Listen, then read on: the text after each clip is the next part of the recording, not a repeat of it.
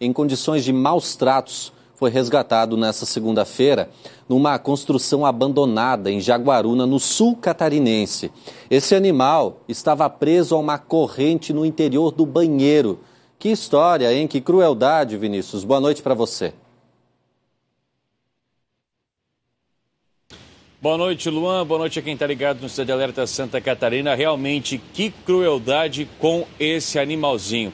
Segundo o Corpo de Bombeiros Voluntários que esteve no local em Jaguaruna para soltar este animal, o cão estava praticamente suspenso onde ele estava preso. Ele não conseguia nem sequer sentar onde ele estava preso. Uma mulher que acabou contatando o, os bombeiros voluntários, ela informou que esse animal já estava há alguns dias neste local. Ela então ligou os bombeiros voluntários porque ele parecia ser um pouco bravo, por isso ligou para a guarnição que se deslocou até o local e realizou então, soltou esse animal, tirou ele dessa corrente que estava preso, como eu disse anteriormente, do local que ele não conseguia nem sentar, era obrigado a ficar em pé nessa construção que estava, ah, que estava desabrigada, que estava abandonada há muito tempo. Conforme os bombeiros, ela não soube informar quem havia abandonado este cão na construção. Após o resgate, o cãozinho foi solto neste local e ele. Ah, por sinal, e que bom sinal, não apresentava ferimentos, segundo os socorristas. Luan.